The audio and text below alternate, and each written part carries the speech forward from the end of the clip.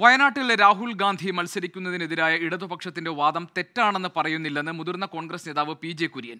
രാഹുൽ ഉത്തർപ്രദേശിൽ മത്സരിക്കണം എന്ന അഖിലേഷിന്റെ അഭ്യർത്ഥന പരിഗണിക്കണം. എവിടെ മത്സരിക്കണം എന്ന് തീരുമാനിക്കേണ്ടത് രാഹുൽ ഗാന്ധിയാണെന്നും പി ജെ കുര്യൻ ട്വന്റി ഫോറിനോട് പറഞ്ഞു.